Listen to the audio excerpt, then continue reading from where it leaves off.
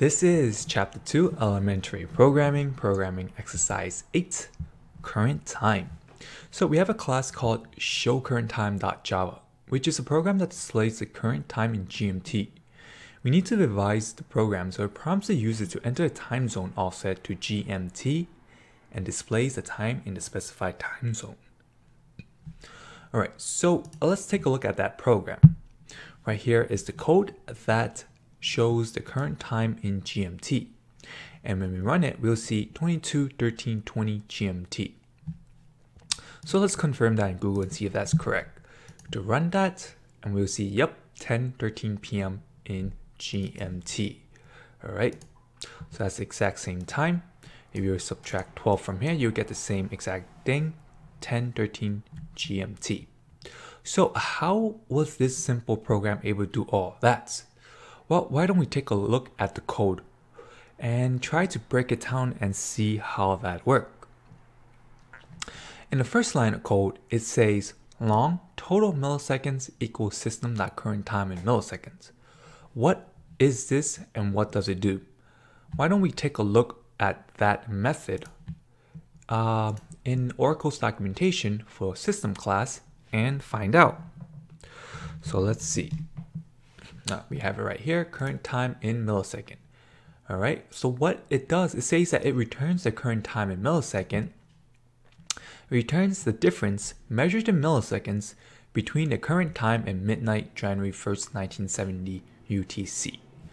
Well, that's all right, okay, I kind of get it, but why don't we actually print it out and get a better visual of that and read that again?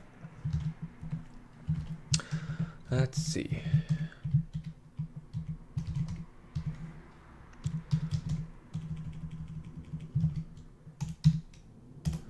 Okay. Run that again. And let's see how that looks like. Let's see what it returns. Whoa, so it returns this large number right here. So that now makes more sense why it's using a long data type instead of an integer data type. If you were to have an integer data type to store a number this large, you're going to get an error. So why don't we replace this long uh, data type right here with int and let's see what happened. And turns out it gives us an error message and it says incompatible types required. Right here it says int found long. Actually, no, it should be the other way. Required long and found int. So if you change that back to long, it will be oh stop that just right. And the reason for that error message is because int uh, it's very small. Uh, it only holds a very small uh, well we wouldn't, wouldn't really say small, but the size of int is smaller compared to the data type for long. Long could hold a very, very, very, very large number. And if you were to look at this, this is hundreds. Right here would be thousands, uh, millions. Right here will be billion, and right here will be trillion. So that's one trill, one and a half trillion milliseconds. All right. So if we were to read this again, it'll make much more sense. What it returns is the current time in millisecond. What is the current time and how do we calculate in milliseconds? Well, the current time is constantly ticking, right? It is ticking, ticking, ticking, ticking. While milliseconds constantly increasing. And it's calculating this from the starting date, the midnight of January 1st, 1970 UTC. So this millisecond is the time ever uh, that was ticking ever since January 1st, 1970 UTC, all the way to right now, the current time and date. And that is for today, it is 2018 12 12, December 12th. So let me see if, uh, right here, no, there's no clock right here that keeps ticking. So with that is constantly calculating, and that's why uh, we have a long data type holding this value. Now with that value, it's taking this total milliseconds to calculate the current time in seconds. Uh, no, the total milliseconds, the current second, total minute, current minute, total hours, current hours with this simple modulus and divide operator. And of course, if you want to know more how that works, uh, check out my previous videos, which go through all of that. And I did that multiple times. All right. So hopefully uh, by now you should know how all of this or what is going on behind the scene with uh, something like this. If you see something like this right here. Now back to our exercise. Our next step is to display the message. So what we gotta do is to ask the user to enter the offset time uh, for their current time zone and their current time zone.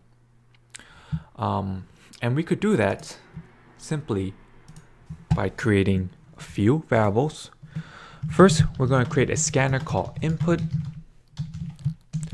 system.in and two variables right here. Now, for the first variable, I'm just going to create maybe a short. Short, let's call it um, offset and a string called time zone. All right. what I'm going to do is I'm going to ask the user to enter the offset in hours. And I'm also going to ask the user to enter Hmm.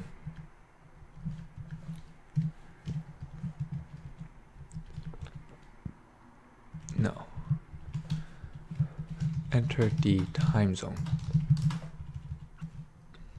So for the hours, will be offset equals uh, input dot next int. Let's see if there's a short. X short.